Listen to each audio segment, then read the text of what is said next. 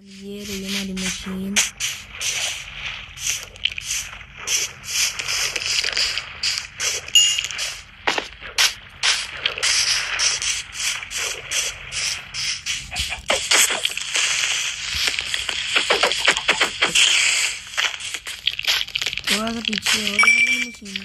Pitinho.